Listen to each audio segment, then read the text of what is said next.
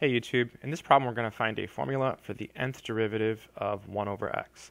Let's go ahead and try to do this. So solution. So first I'll write down uh, the function as follows.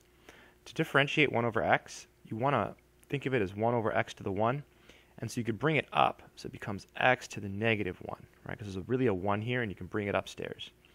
Alright, so now we're going to take the first derivative. So first derivative this will correspond to n equals 1.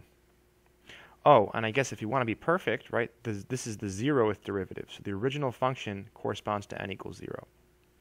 So when we take the derivative here, we use the power rule, right? You put the negative 1 in the front. So you get negative 1 times x to the negative 2. It's going to leave it like that. Now we're going to do it again. n equals 2. So f double prime of x so now we'll bring the 2 down. So you get negative 2 times negative 1. So you get 2 times 1, which is 2, times x to the negative 3.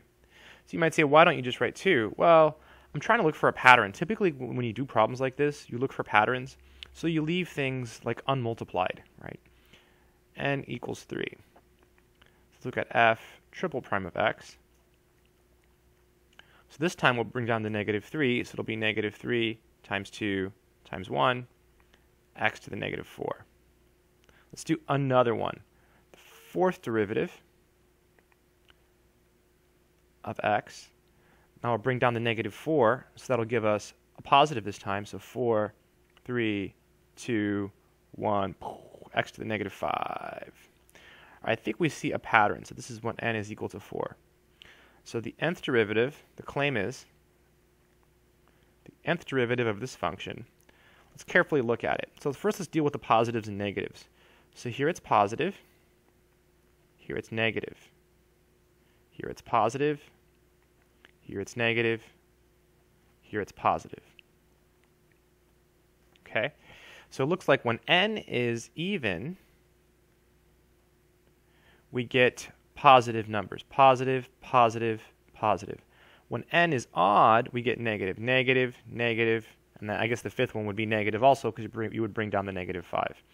So negative 1 to the n seems to be like an appropriate thing to put here, right? Because if n is odd, you're going to get a negative 1.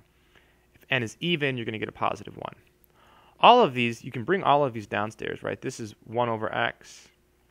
This is negative 1 times 1 over x squared. This is uh, can come down and be x cubed.